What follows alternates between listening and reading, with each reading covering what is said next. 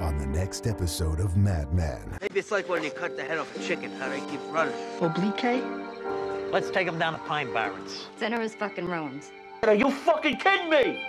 Maybe we should eat some of these berries. Fuck your fucking mother! Oh! Russians?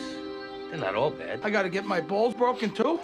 I lost my shoe. We should have stopped at Roy Rogers. What are you been eating, steak? Mayonnaise. Mayonnaise. He killed 16 Czechoslovakians. Guy was an interior decorator. For a longer look, go to amctv.com.